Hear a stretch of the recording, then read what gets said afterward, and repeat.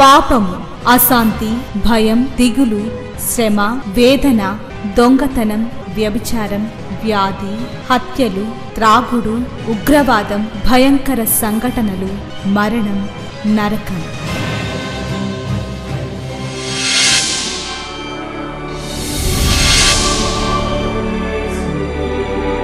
సిలువలోనే పాప క్షమాపణ పరిశుద్ధ జీవితం ప్రేమ వాక్య ధ్యానము నెమ్మది సహవాసం నిత్య జీవం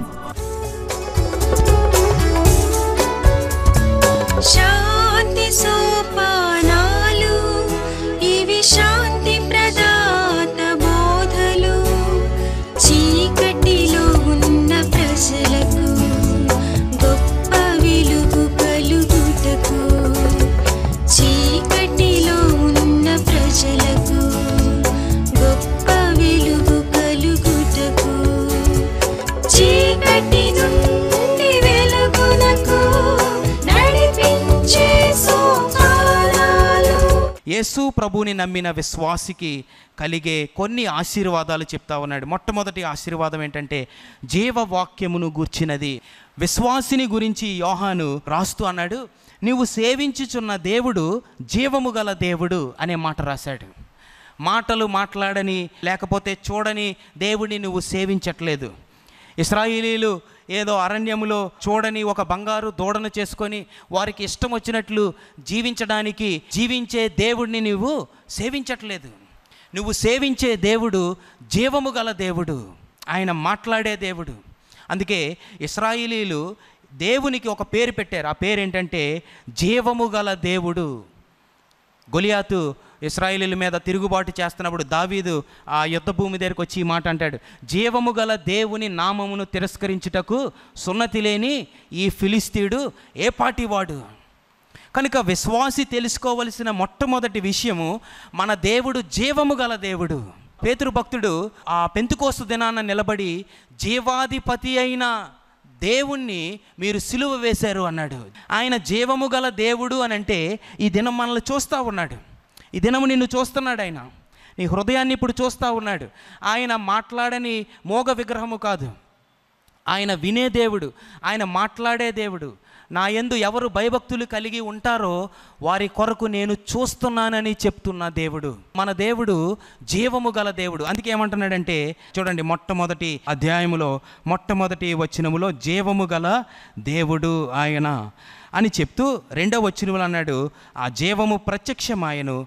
తండ్రి వద్ద నుండి మాకు ప్రత్యక్షమాయను. ఆ నిత్య జీవమును మేము చూచి ఆ జీవమును గూర్చి సాక్ష్యం ఇచ్చుచున్నాము యోహాను సాక్ష్యము దేవుడు జీవమై ఉన్నాడు అనేది ఒకటైతే ఇంకొకటి ఏమన్నాడంటే ఆ జీవానికి మేము సాక్షులము అని చెప్తా ఉన్నాడు.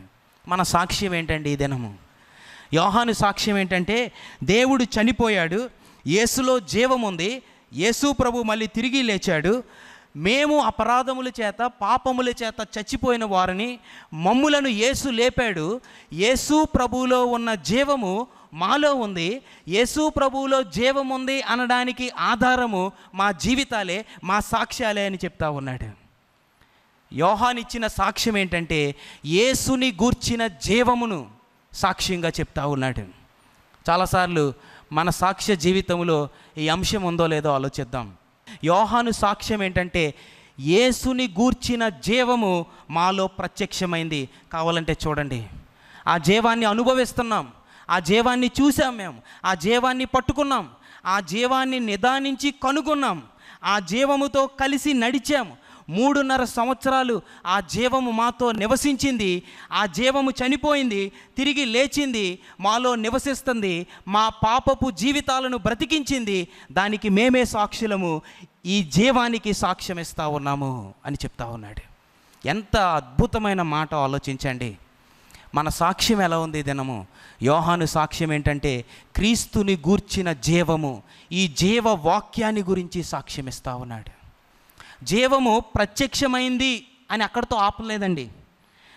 జీవము ప్రత్యక్షమైందంటే ఏదో కనబడి చాలా చోట్ల ఏవో కనబడి వెళ్ళిపోతున్నట్లుగా వెళ్ళిపోయి ఉండొచ్చు అని మనం అనుకోవచ్చు. యోహాన్ అంటున్నాడు జీవము ప్రత్యక్షమైంది.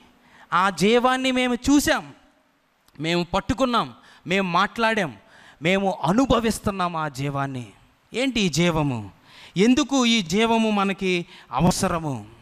సలోమోని భక్తుడు చచ్చిన సింహము కంటే బ్రతికి ఉన్న కుక్క మేలు అన్నాడు.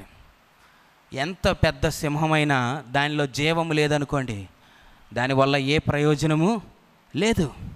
మన జీవితాల్లో అన్నీ ఉండొచ్చు అన్నీ కలిగి ఉండొచ్చు.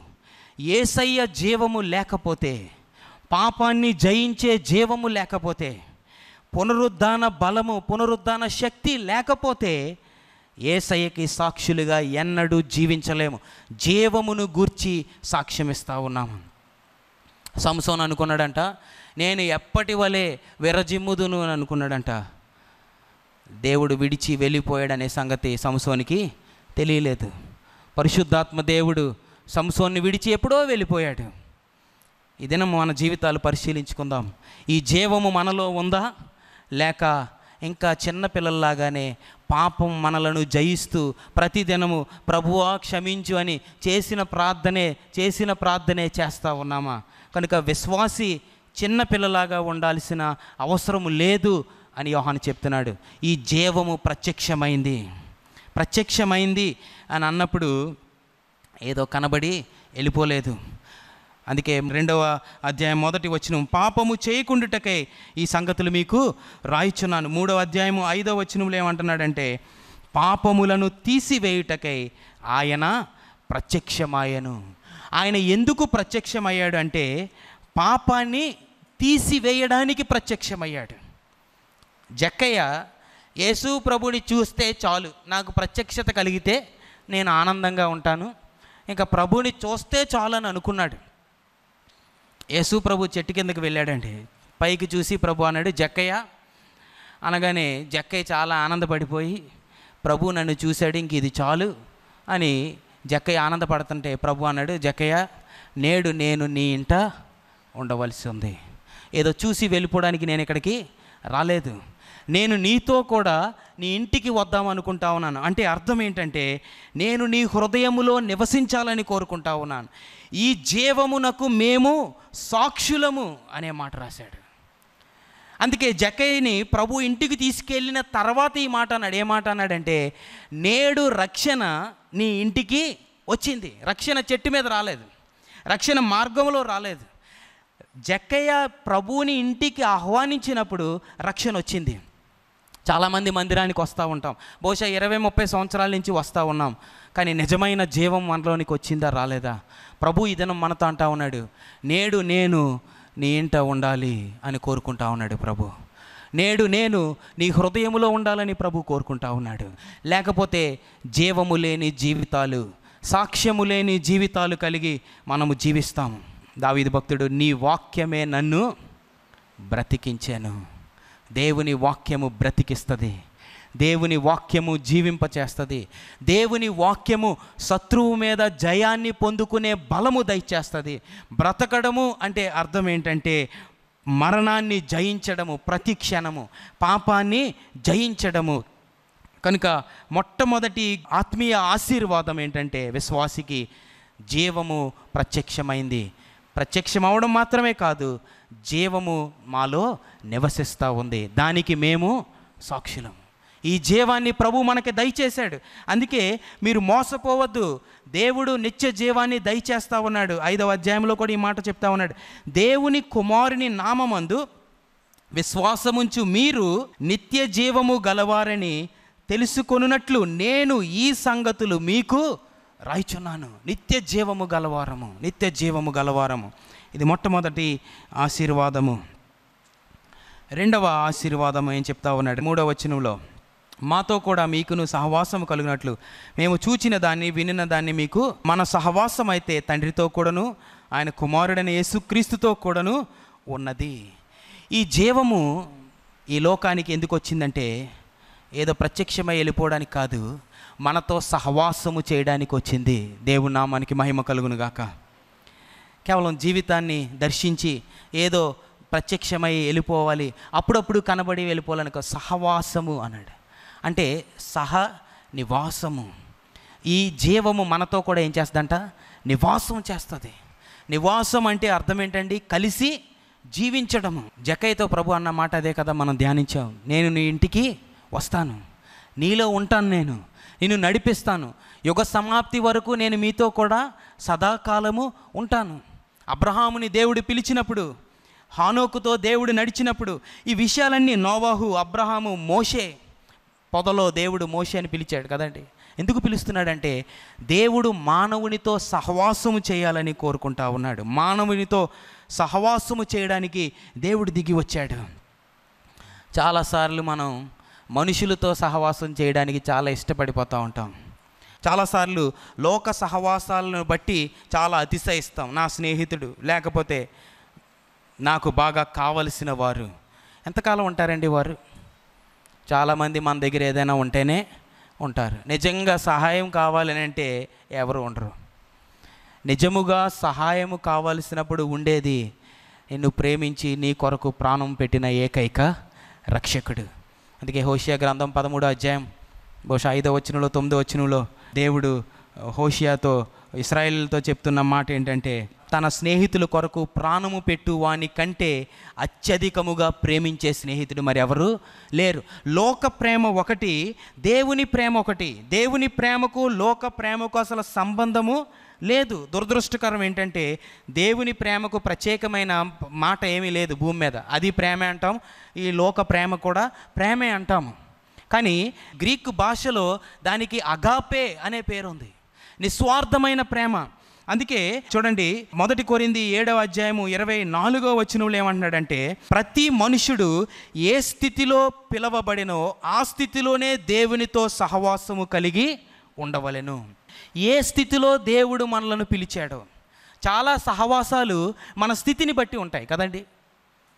ఏ జాతి పక్షి ఆ గూటికి చెందుతుంది. మన స్థితి బాగుంటే మన స్థితి లాంటి వారే మనకి స్నేహితులు వస్తారు. కానీ ప్రభు అలా ప్రేమించలేదు.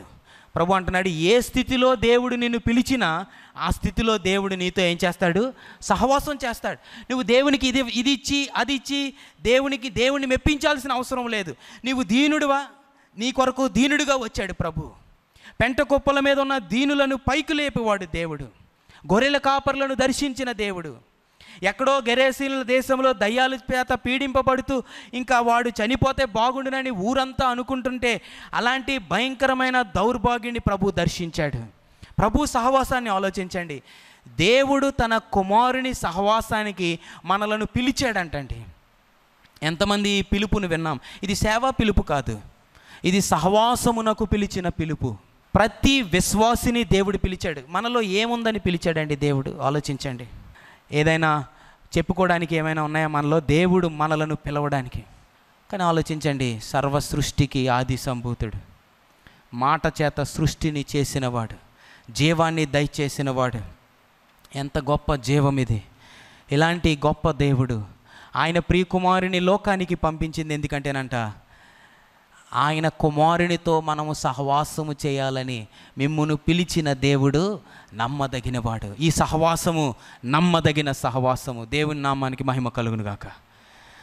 లోక సహవాసాలు నమ్మదగినవి కాదండి. దయచేసి ఎవరైనా అలాంటి సహవాసాల్లో ఉంటే దాన్ని విడిచిపెట్టాలని ప్రభు కోరుకుంటా ఉన్నాడు. లేక దానికి ప్రాధాన్యత ఇవ్వద్దని ప్రభు ఈ దినం మనతో మాట్లాడుతూ ఉన్నాడు. లోక సహవాసాలు నమ్మదగినవి కాదు. లోక సహవాసాలు కేవలము చాలా మటుకు తొంభై శాతము స్వార్థము కొరకే. నా దగ్గర నుంచి ఆశించిన వాడే నాకు స్నేహితుడవుతాడు ఈ లోకములో. ఎందుకంటే మానవుని ప్రేమలో నిస్వార్థమైనది లేదు.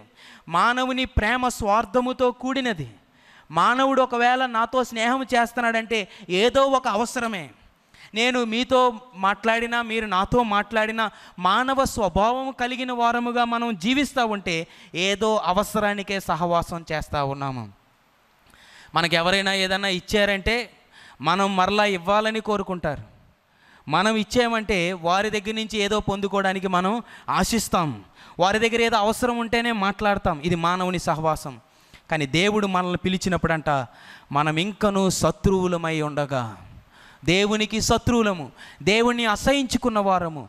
మనము బలహీనులము. దేవునికి దూరస్తులుగా ఉన్నాము. దేవుని చూసి అసహించుకొని దేవునికి దూరం అయిపోయి దేవునికి దూషణ చేస్తున్న వారిని దేవుడు పిలుస్తూ ఉన్నాడు ఈ దినము. విశ్వాసి దేవుని సహవాసానికి దేవుడు పిలిచాడు. ఏదో క్రైస్తవుడిని చెప్పుకొని నేను కూడా క్రైస్తవుడినే అనుకొని పాములన్నీ ఒకరోజు మీటింగ్ పెట్టుకుంటే ఈ బుడద పాము కూడా వెళ్తుందంట. నువ్వు ఎందుకు వెళ్తున్నావంటే నేను పామునే కదా అందంట.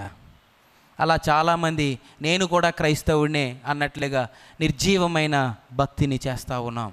నిర్జీవమైన దేవుడి లేని జీవితాన్ని కలిగి జీవిస్తూ ఉన్నాము దేవుని కుమారుని సహవాసానికి పిలిచాడు దేవుడు. ఆయనతో సహవాసం చేస్తా ఉన్నాం. మూడు వందల సంవత్సరాలు హానోకు దేవునితో సహవాసం చేశాడు. సుమారు నూట ఇరవై ఐదు సంవత్సరాలు అబ్రహాము దేవునితో నడిచాడు విశ్వాసముతో నడిచాడు ఏమీ లేదు ఎడారిలో నడిచాడు దేవుని నమ్మాడు. ఎందుకంటే ఈ సహవాసము నమ్మదగినది. నేనైతే దేవునితో నడవలేను. మీరెవరు దేవునితో నడవలేరు. మనం ఎవరు నడవలేము. మనము మానవులం మనం మట్టి వారము జీవమే లేకపోతే దేవుడు మనిషిని చేసినప్పుడు ఆలోచించండి మట్టి నుండి మనిషిని చేశాడు. జీవవాయువు ఓదక ముందు మనిషి ఎవరండి? మట్టి. ధూళి బూడిద అన్నాడు భక్తుడు. అలాంటి ధూళి బూడిదే దేవుని యొక్క జీవము లేకుండా దేవునితో ఎలాగ సహవాసం చేయగలదు? కనుక దేవుడు అంటా ఉన్నాడు నువ్వు నాతో సహవాసం చేయలేవని నాకు తెలుసు. అందుకే నిన్ను పిలిచినవాడు నమ్మదగినవాడు. నువ్వు కాదు నేను కాదు. దేవుడు మనలను పిలిచాడు. దేవుడు నమ్మదగినవాడు. మనము దేవునితో నడవడానికి ఆయన మనకి సహాయం చేస్తాడు.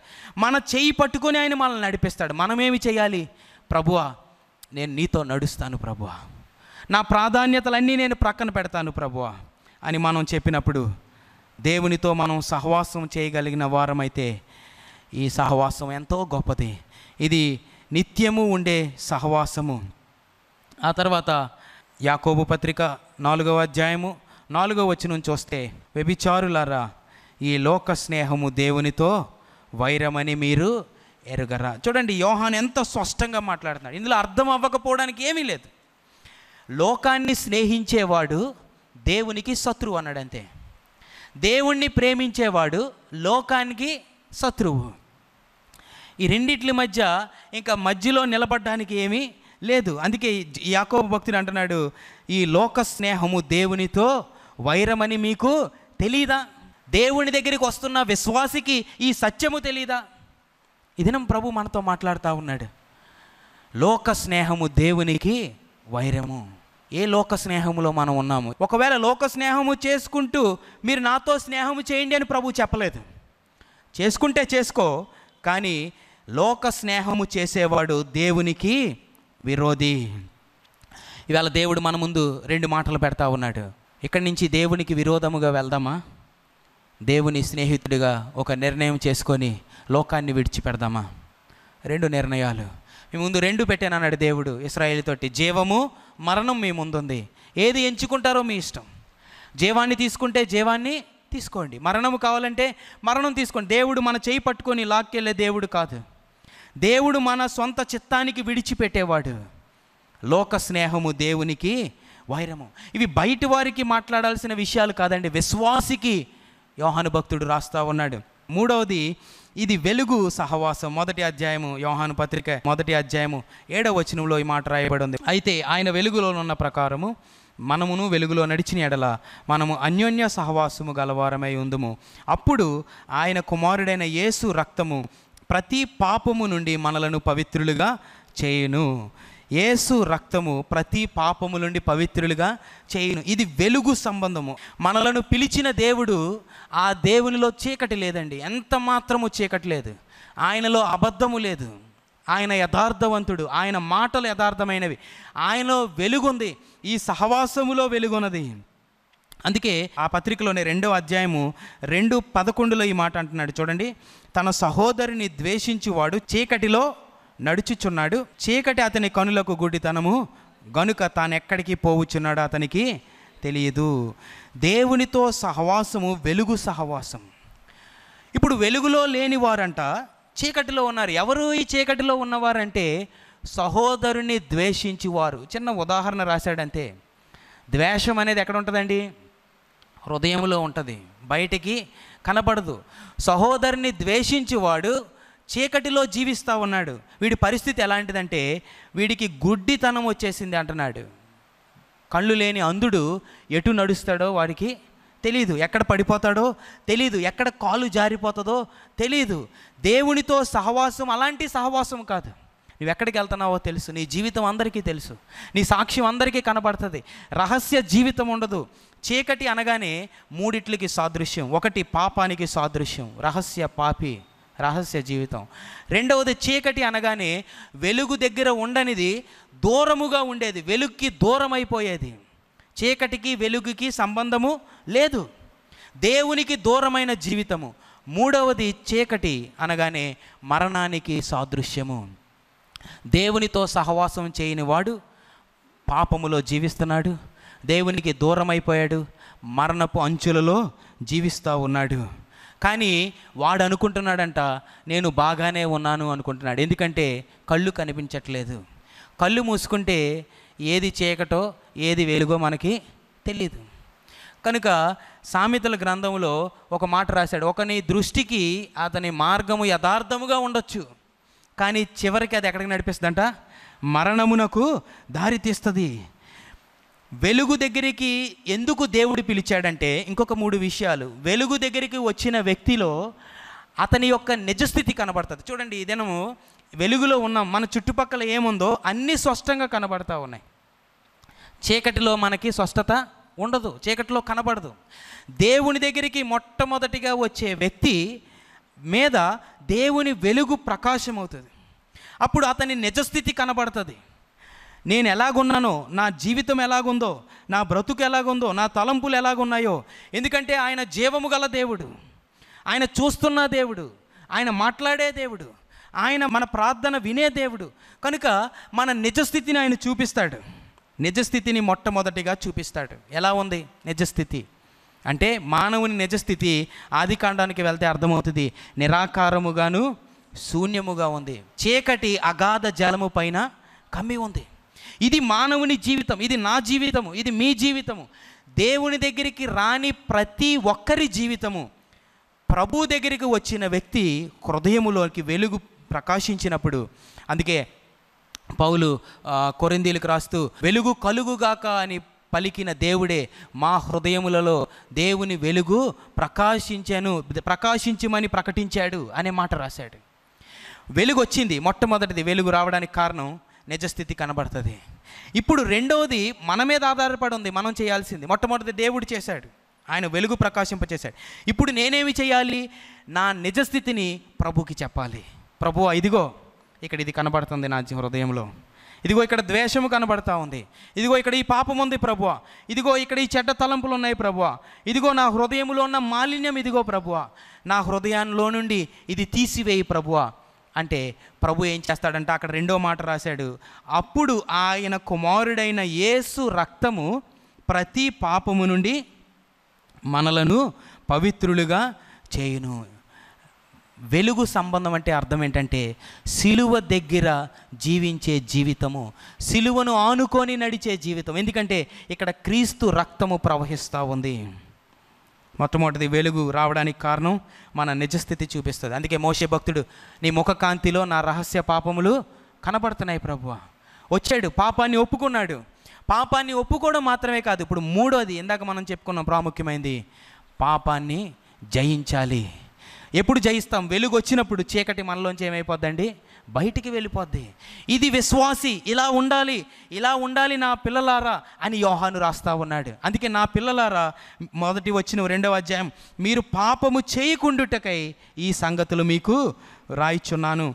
నాలుగవ ఆశీర్వాదం చూడండి రెండవ అధ్యాయము పద్నాలుగవ వచ్చినలో చెప్తా ఉన్నాడు. చిన్న పిల్లలారా తండ్రులారా యవనస్తులారా మీరు బలవంతులు దేవుని వాక్యము మీ అందు నిలుచుచున్నది. చూసారా? చిన్న పిల్లలు అరా అన్నాడు. అని అంటా ఉన్నాడు మీకు పాప క్షమాపణ వచ్చిందంతే. వెలుగు ప్రకాశించింది. ప్రభువా నన్ను క్షమించని అడిగావు. కానీ చీకటి పోలేదు. ఆ చీకటిని జయించలేదు. ఆ చీకటి ఇంకా నీలోనే నివసిస్తూ ఉంది. ప్రతిరోజు వచ్చి ప్రభు ఇదిగో ఇక్కడ ఇది ఉంది. ఇదిగో ఇక్కడ ఉంది ఇది. అంటే ఏంటి? దీన్ని తీసుకోలేదు మనం. ఇది ఎక్కడ ఏం చేసామండి వదిలేసాం ఆకాను అన్నీ ఇచ్చేశాడు. అన్నీ వదిలేశాడు. ఆ బంగారం తీసుకొచ్చి ఎక్కడ పెట్టుకున్నాడండి? ఆ ఇంట్లో దాచుకున్నాడు. ఆ ఇంట్లో దాచుకొని కింద పెట్టుకున్నాడు. దేవుని మాట వచ్చే వరకు కూడా బయట పెట్టలేదు. దేనినో ప్రేమిస్తూ ఉన్నాము? దేనివైపో తిరుగుతూ ఉన్నాము? దేని వెనకాలో వెళ్తూ ఉన్నాము? దేనివైపో నడుస్తూ ఉన్నాము? కానీ మూడో మార్గం లేదు రెండే రెండు మార్గాలు. అయితే జీవ మార్గము లేకపోతే మరణము. అయితే నిత్య నాశనము. రెండే మార్గాలు. ఒకటి విశాల మార్గము ఒకటి ఇరుకు మార్గము ఒకటి జీవము ఒకటి మరణము. వెలుగొచ్చింది. అందుకే చిన్న పిల్లలారా అంటా ఉన్నాడు. ఇంకా ఎదగండి. నాలుగో ఆశీర్వాదం ఏంటంటే విజయవంతమైన జీవితము. అపవాది మీద విజయము. దేవుని కుమారునితో సహవాసము చేసేవాడు విజయవంతమైన జీవితాన్ని జీవించి ప్రభు దగ్గరికి వెళ్ళిపోతాడు. చివరి ఆశీర్వాదం చూద్దాం. మొదటి అధ్యాయము నాలుగవ వచ్చిన చూడండి. మన సంతోషము పరిపూర్ణమవుటకై మేము ఈ సంగతులు రాయిచున్నాను. దేవుని నామానికి మహిమ కలుగును గాక మన సంతోషము పరిపూర్ణమవుటకై జీవము దేవుని దగ్గర నుంచి వచ్చింది. సంతోషము కూడా ఎక్కడి నుంచి వచ్చింది? ప్రభు దగ్గర నుంచి వచ్చిన సంతోషం. ఈ లోక సంతోషం కాదండి ఇది. ఇది పరలోకములో నుండి వచ్చిన సంతోషము. ఇది అనుభవించిన వాడికే తెలుస్తుంది. దీనిని వివరించలేరు. ఇది జ్ఞానమునకు మించిన సంతోషము. ఇది ఈ సంతోషాన్ని వివరిద్దామని అనుకుంటే యోహాన్ అంటున్నాడు పేతురు అంటున్నాడు చెప్పన సఖ్యము కానిది అనే మాట. ప్రభు అంటున్నాడు మీ అందు నా సంతోషము ఉండవలనని మీ సంతోషము పరిపూర్ణము కావాలని. రెండు మాటలు దేవుని సంతోషం మనలో ఉన్నప్పుడు మన సంతోషం ఏమైపోద్దంట? పరిపూర్ణమైపోతుంది. దేవుడు లేనప్పుడు మన సంతోషం కూడా పరిపూర్ణం అవ్వదు ఏది ఉన్నా లేకపోయినా ఎవరు ఉన్నా ఎవరు లేకపోయినా ప్రభు ఉంటే ఎప్పుడూ పరిపూర్ణమైన సంతోషంతో ఉంటాము. ఐదు ఆశీర్వాదాలు. జీవము నిత్య జీవాన్ని దయచేశాడు దేవుడు. సహవాసము. ఆయన కుమారుని సహవాసమునకు పిలిచిన దేవుడు నమ్మదగినవాడు. దేవునితో సహవాసం మనుషులతో కాదు. మనుషులతో సహవాసము దేవునికి వైరము. మూడోది వెలుగు సహవాసం. ఇందులో ఏ చీకటి లేదు. మన దేవుడు సత్యవంతుడు. మన దేవుడు మాట అవునంటే అవును కాదంటే కాదు. మనలను ఈ లోకానికి వెలుగుగా చేశాడు. నాలుగవది విజయవంతమైన జీవితము. బలమైన జీవితము. దుష్టుణ్ణి జయించిన జీవితము. లోకాన్ని శరీరాన్ని నేత్రాశలు జీవపు డంబాన్ని జయించిన జీవితము. ఒక విశ్వాసి జీవితము. ఐదవది అతి ప్రాముఖ్యమైనది పరిపూర్ణమైన సంతోషము. తృప్తి కలిగి జీవిస్తాము. వ్యక్తులను బట్టి కాదు ఉన్న వాటిని బట్టి కాదు ప్రభువుని బట్టి. ఎవని సన్నిధిని నేను నిలబడ్డానో ఆ యహోవా జీవముతోడు ప్రార్థన చేద్దాం. దయచేసి అందరూ తాళ్ళు వంచండి. పరిశుద్ధడానికి వందనాలు. నీ ప్రియకుమారుని సహవాసానికి పిలిచిన దేవ నమ్మదగిన దేవ మేమైతే నమ్మదగిన వారమైనప్పటికీ తండ్రి దౌర్భాగ్యులం పాపులము శత్రువులము దూరమైపోయిన వారము బలహీనులము తండ్రి మమ్మలను ప్రేమించి ఈ గొప్ప సహవాసానికి పిలిచిన దేవా నీకు వందనాలు. జీవమై ఉన్న దేవ నీ జీవానికి సాక్షులముగా మమ్మల్ని నిలబెట్టండి. ఆయనలో జీవముండెను ఆ జీవము మనుషులకు వెలుగై ఉండెనట్లుగా కొండ మీద ఉండు పట్టణము వలె మమ్మల్ని నిలబెట్టండి. నాయన పరిపూర్ణమైన సంతోషము దయచేయండి. విజయవంతమైన జీవితము దయచేయండి. వెలుగు సంబంధులుగా జీవించడానికి సహాయం చేయండి. ఈ ప్రియ కుమారుడు మా ప్రభు రక్షకుడు పరిశుద్ధుడు విమోచకుడు ఆయన యేసు క్రీస్తు పరిశుద్ధ నామములో ప్రార్థించి వేడుకొంచున్నాం తండ్రి. ఆమేన్. మహాదేవుడు మన ప్రభువు రక్షకుడునైన యేసుక్రీస్తు కృపా దేవుని ప్రేమ పరిశుద్ధాత్మనిత్య సన్నిధి సహవాసం. కుడి వచ్చిన మనందరికీ సదా తోడయండి నిత్యత్వాన్ని గూర్చిన నిరీక్షణతో కూడిన జీవితాలలోనికి నడిపించును గాక ఆ మేన్ మా అడ్రస్ శ్రీమతి Joy Sam Benny Emmanuel church one dash one forty six S Atchutapuram Kakinada four మా phone numbers nine four four zero one zero nine eight nine three మరియు zero eight eight four two three seven six seven nine three. మరలా ఇదే సమయానికి ఇదే ఛానల్లో మనం కలుసుకుందాం. Thank you